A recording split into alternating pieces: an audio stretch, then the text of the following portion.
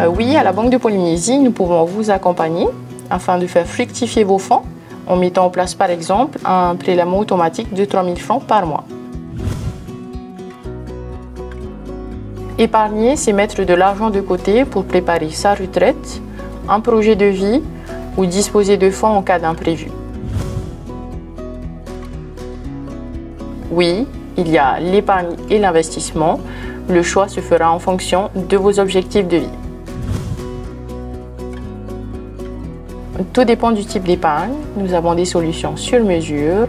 Nous vous invitons à prendre rendez-vous avec nous afin de vous proposer une solution adaptée à vos besoins.